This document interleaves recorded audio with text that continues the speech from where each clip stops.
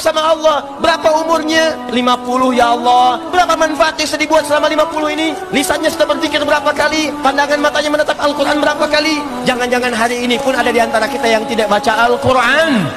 Ada anak 4 tahun mata buta dia menghafal Quran.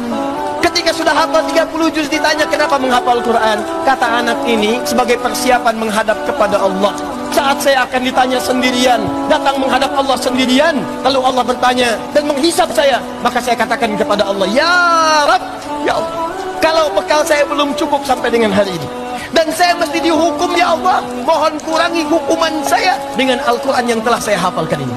Empat tahun Mata buta Menghafal Quran untuk menghadap kepada Allah subhanahu wa ta'ala anda 40 tahun, 50 tahun, 60 tahun. Sampai hari ini cita-cita pengen masuk surga Firdaus. Tapi baca Quran aja nggak punya waktu. Apa nggak malu di hadapan Allah?